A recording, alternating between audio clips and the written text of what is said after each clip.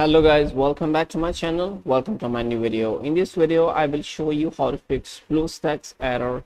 Oops looks like bluestacks ran into a hiccup and could not launch. Let's get started. So go to search bar on your windows type here control panel and go to control panel here and go to category select category here and go to uninstall program and turn windows feature on or off. And scroll down here and we need to install hyper-v. Check this option and check these options here and click ok.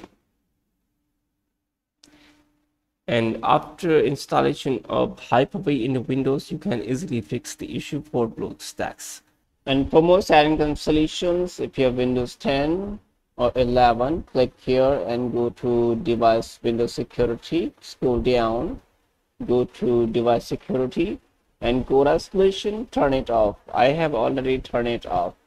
And if you're still facing the issue then you have to reinstall your windows with clean installation.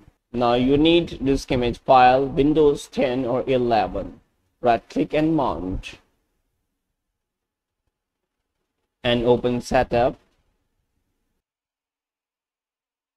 Now this one check this option and click on next. Now accept. Now install windows 10 pro and key person files and apps and click on install after installing Windows, you can easily fix the issue for BlueStacks. I hope this tutorial helped you and please subscribe the channel. Thanks for watching.